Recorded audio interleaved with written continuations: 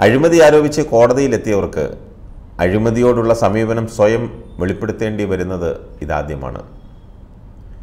V. D. സതീശനും രമേശ് ചെന്നിത്തലയ്ക്കുമാണ് ഈ അവസ്ഥ. ഇവർ രണ്ടുപേരും എ. ഐ. ക്യാമറയുടെ മുന്നിൽപ്പെട്ട നിയമലംഘകരുടെ അവസ്ഥയിലായെന്നാണ് സമൂഹ മാധ്യമങ്ങളിലെ ട്രോൾ. എ. ഐ. ക്യാമറ പദ്ധതി തന്നെ അവസാനിപ്പിക്കണമെന്നായിരുന്നു രണ്ടുപേരും ഹൈക്കോടതിയിൽ സമർപ്പിച്ച ഹർജിയിലെ ആവശ്യം. കോടതി തൽക്കാലം അതിലേക്കൊന്നും കടന്നില്ലെങ്കിലും.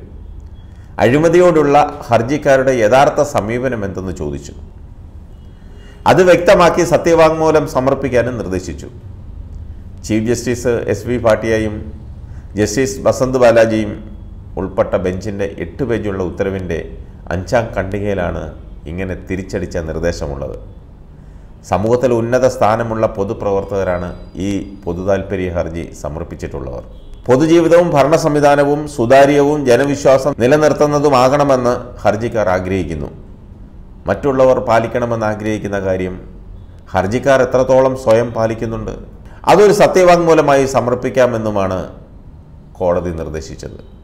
പൊതു താൽപ്പര്യ ഹർജിയിലെ വാദികളോട് ഉന്നത നീതിപീഠം ഇത്തരമൊരാവശ്യം ഉന്നയിക്കുന്നത് ചരിത്രത്തിൽ ആദ്യമാണെന്നാണ് നിയമവിദഗ്ധർ പോലും ചൂണ്ടിക്കാട്ടുന്നത്.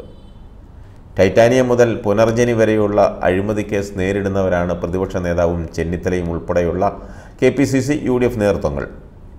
മറ്റുള്ളവരുടെ പേരിൽ അഴിമതി ആരോപിച്ച് സ്വയം പരിശുദ്ധരാകുന്ന യു ഡി എഫ് നേതൃത്വം ഇതോടെ സ്വയം പ്രതിക്കൂട്ടിലായി. പ്രതിപക്ഷത്തിന് ഹൈക്കോടതിയുടെ അഭിനന്ദനം ക്യാമറ പദ്ധതിയിൽ കരാറുകാർക്ക് പണം നൽകുന്നത് തടഞ്ഞു എന്നിങ്ങനെ വസ്തുതാവിരുദ്ധമായ വാർത്ത എഴുതിയ മാധ്യമങ്ങൾ.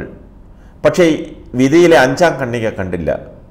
കോടതി പരാമർശത്തിലെ അപൂർവ കൗതുകം വാർത്ത പോലുമായില്ല. ക്യാമറ വിഷയത്തിൽ പ്രസക്തമായ പല വിവരങ്ങളും സർക്കാർ മറച്ചുവെച്ചെന്നാണ് ഇവരുടെ ആരോപണം. പൊതുസമൂഹത്തിനു കൂടി ബോധ്യമാകുന്ന നിലയിലല്ല കാര്യങ്ങൾ നടന്നിട്ടുള്ളത്. റോഡ് അപകടങ്ങളും മരണനിരക്കും കുറയ്ക്കാനും അച്ചടക്കമുള്ള ഗതാഗത സംസ്കാരം സൃഷ്ടിക്കാനുമായി കൊണ്ടുവന്ന ഒരു പരിഷ്കാരം അഴിമതി ആരോപണങ്ങൾ ഉയർത്തി തകർക്കാനാണ് ഇവർ ശ്രമിക്കുന്നത്.